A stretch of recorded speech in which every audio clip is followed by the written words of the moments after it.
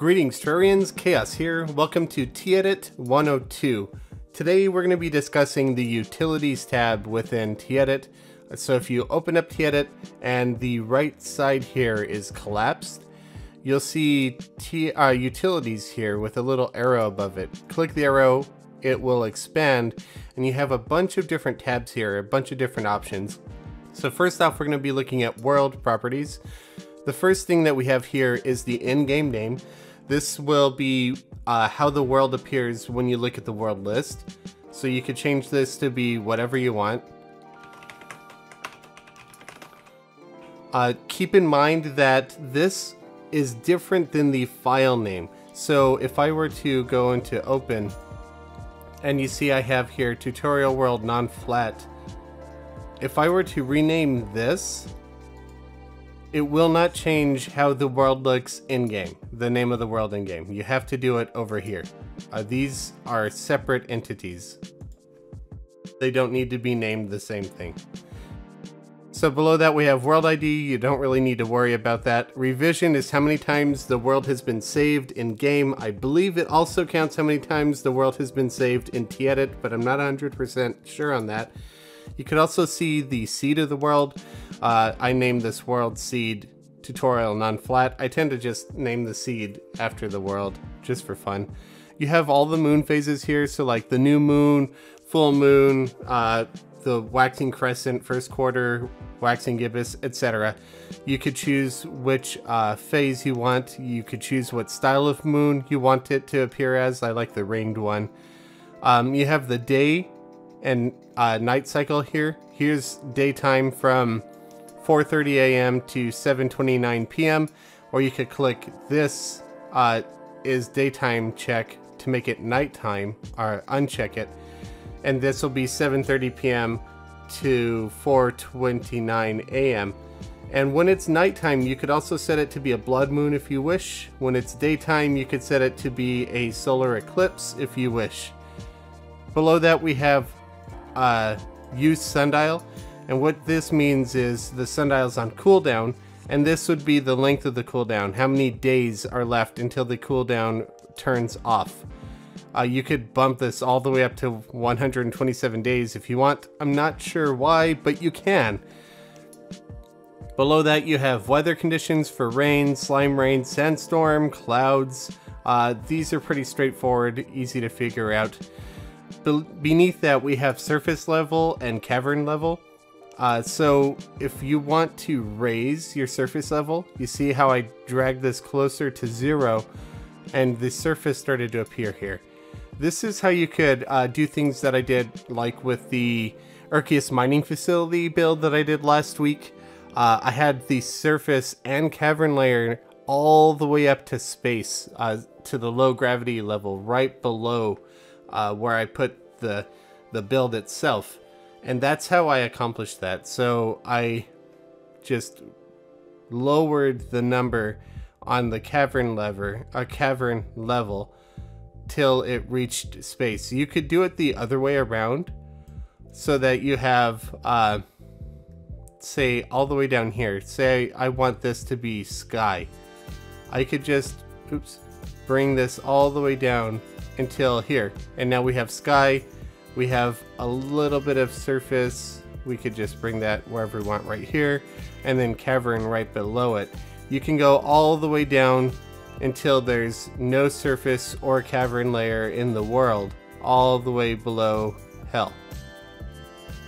Uh, just note that you can't have a cavern layer lower than surface, and surface always has to be above cavern.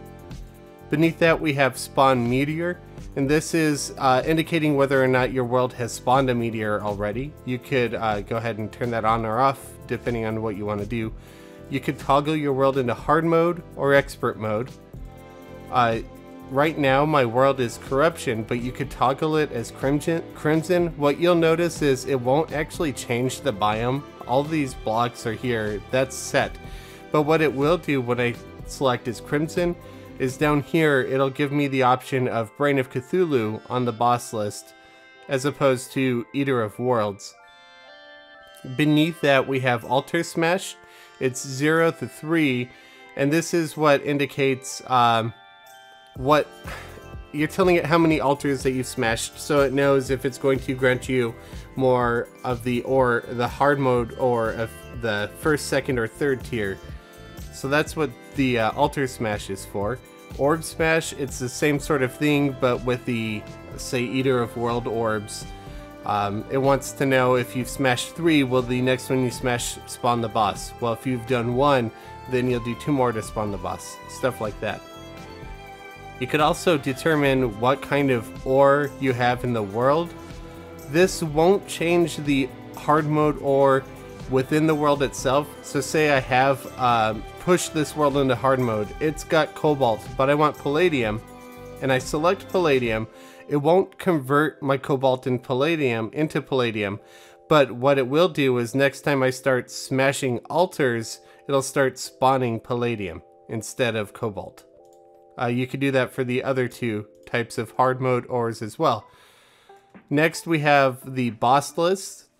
And the list of bosses is for uh, indicating which you've killed on the world already. For the most part, these are for gating progression things. Um, like you can't get into the dungeon without having killed Skeletron. So if I click that, I can now go into the dungeon safely. Uh, the Eye of Cthulhu will spawn if you have 200 health unless you've already killed it. So for my adventure maps, I always check Eye of Cthulhu is killed, so it doesn't just spawn on you randomly while you're progressing through the world. I do the same thing for the Twins, Destroyer, and Skeletron Prime.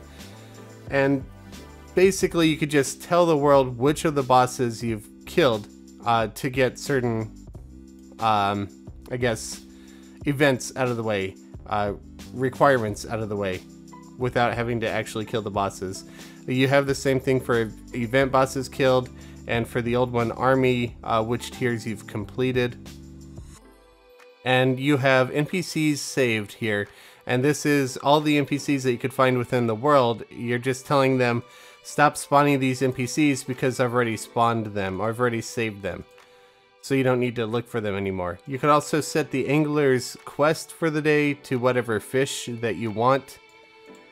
Um, you could indicate which invasions that you've downed. You could even start an invasion of your own. Say I want this to be a goblin invasion.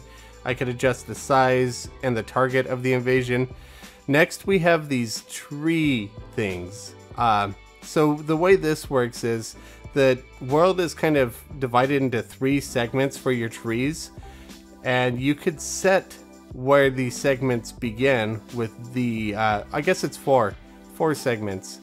With these three bars, you could split the world into four segments of whatever you want. And you'll see if I scroll over here to the left, uh, maybe I won't do the jungle so it's easier to see. I'll go to the right so we have this style of tree here. Now beneath it, you see these four segments. These are the areas that you just split the world into by dragging these bars. And on the fourth segment, I could change the style of tree that I want to appear here. So you'll see every time I choose a different number, the tree appears a little bit different. But that won't affect the trees over here in the third segment. So I could set this to one, you see nothing happens, but if I come over here and I set this to three, this style of tree changes. So you could have four different styles of trees from left to right um, that you could give uh, specific styles to. You kind of have the same thing going on here with caves and cave styles. You'll need to go through, uh, zoom in, take a close look, and see uh, what kind of caves you've got going and what kind of styles you have available to you. And uh, kind of experiment around with the caves just like you can with the treetops. They work the same way. Uh, below that you have the different backgrounds for all of the biomes. You can only choose one background per biome in the world, but here are all the options. You can't really see what they look like in TEdit, but you can change them in TEdit, then go in vanilla and check them out afterwards. And that's the gist of the World's Property tab. So next we have the Special Tiles tab. All this is, is uh, if you grab your arrow tool here and you right click on say a chest. Do I have a chest in the world? Um, I'm sure I do somewhere. Here we go. So if I right click on this chest, the special tiles will allow me to name the chest. Uh, it could also choose what kind of chest it is. You'll see that actually changes the sprite. Uh, you could set what inventory you have in here. You can modify the inventories, um, uh, the amount of the inventory, or what kind of enchant it has on it, or none. Uh, any item in the game you could put into a chest from this as well. The other thing that you interact with with this uh, special tiles is signs. So if I go into sprites here and I type in sign and I just grab a sign, place it anywhere, and then right click on it with my arrow tool, you'll see special property has changed into sign. I could tell it what kind of sign I want it to be. It'll change the sprite. It also includes the tombstones and stuff like that. And then you could fill it with whatever text you want in there. And with both the chest and the sign, you have to click save down here for it to count uh, any of your changes. Otherwise, your save changes won't go through or your uh, changes won't be saved. And even if you save the world, it won't save the changes that you made to chests or signs unless you click that save. The next uh, tab is sprites. I kind of already gave you a look at it. It's really straightforward. You have uh, a filter bar, a search bar here with a filter button on it. It has every sprite in the game uh, that is placeable, including decorations. And basically you just choose your sprite tool and you go through the list and choose whatever sprite you want to choose from the list and then you could just place it wherever you want in the game. Uh, it's extremely straightforward. If you know what you want to look for, then you just type it in, press enter or filter, and then you could find it easier. That's the sprite tab. Next we have clipboard, and this is um, whenever you take your area select tool and you grab an area, say if I were to copy it, you'll see that it is now in my clipboard. Uh, the clipboard will save anything that you've copied during your uh, last playthrough session. So if I just copy a ton of stuff here, uh, the list will just expand more and more and more and everything that I've copied, uh, as long as TEdit is open, will be listed in here unless I remove them individually. So this is super handy if you want to take builds from one world into another. So for instance, if I copy this cloud in the sky and then I go and I open uh, my flat tutorial world, let it load real quick, you'll see that I'm in the new world, but my clipboard remained the same, and I could just bring in that uh, cloud, the floating island that I copied from my clipboard, and just paste it into the new world.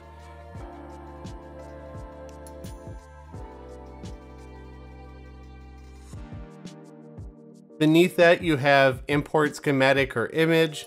Um, I don't really work with schematics often. I find them to be buggy. TEdit doesn't like to uh, work with them. Um, just, I, I don't know. I, I want it to work. I've just never had much luck with schematics, so I tend to avoid it. Um, but beneath that, you have these check marks, and this is indicating what you paste when you paste uh, whatever's in the clipboard.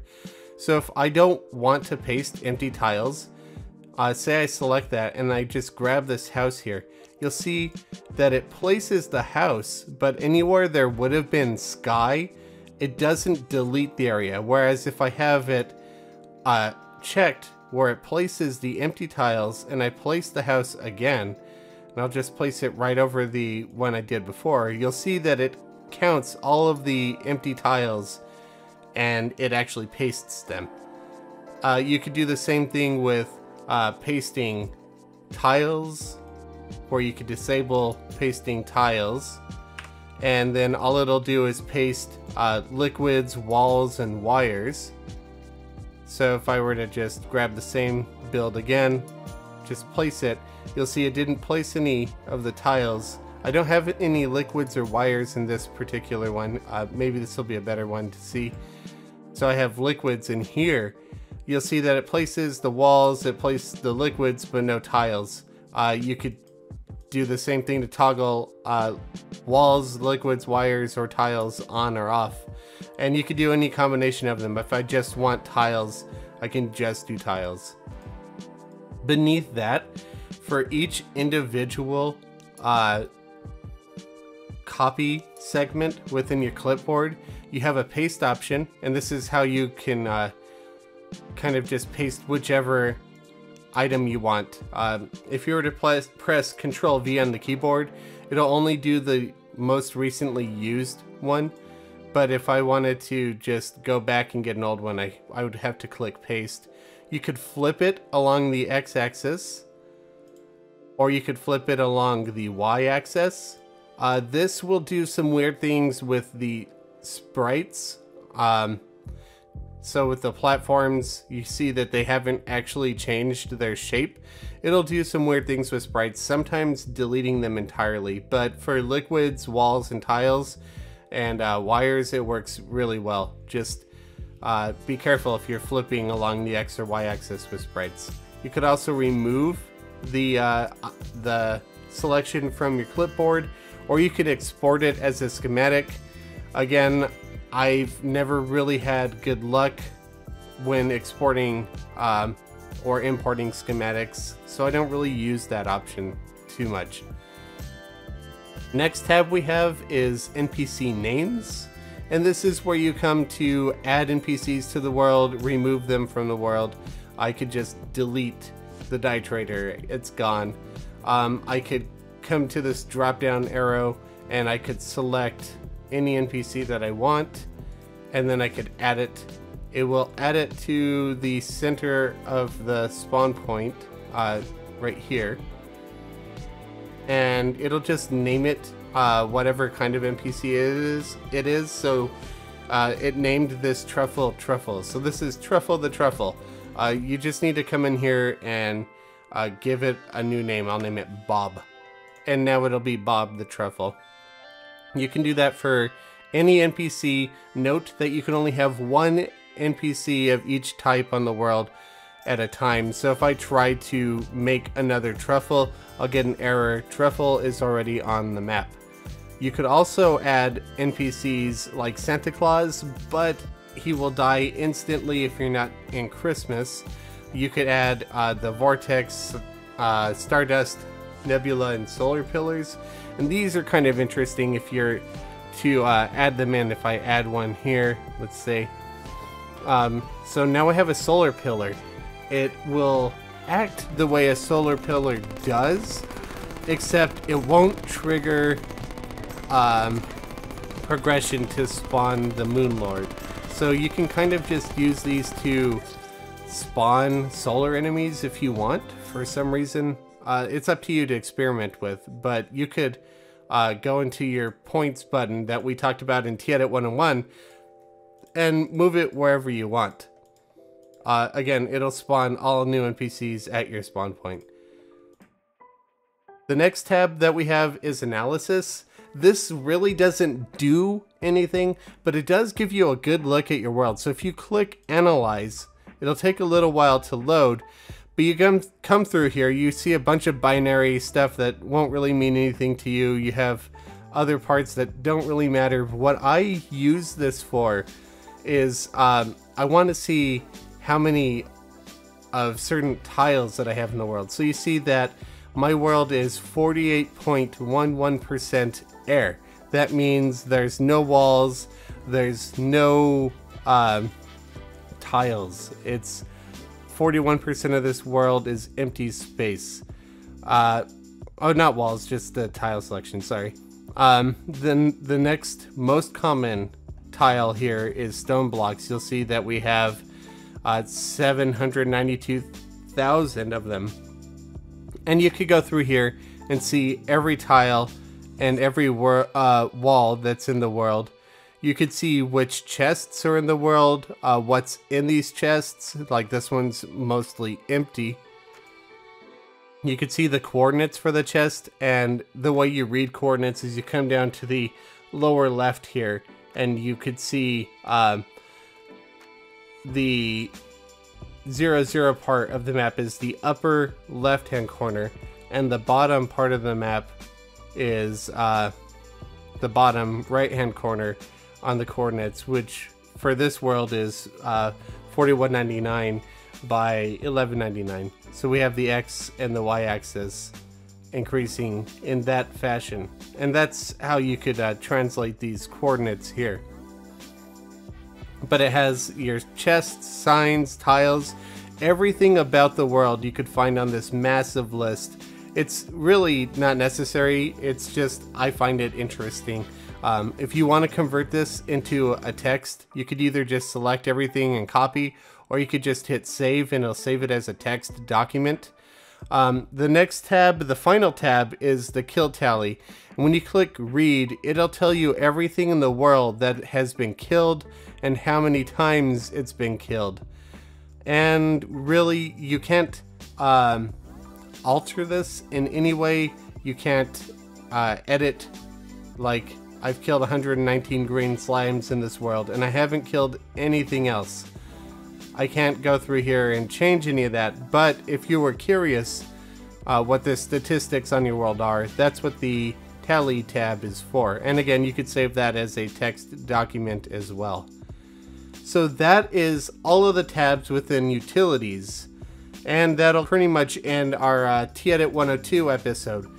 Thank you all very much for watching. I hope you enjoyed it and I hope you found it useful. Remember, if you're going to use TEdit, be sure to back up your world saves before each use. You never want to end up with a corrupt world. Thank you all again for watching. Please be sure to leave a like and comment, and please consider subscribing to my channel. I'll catch you all later. Happy building.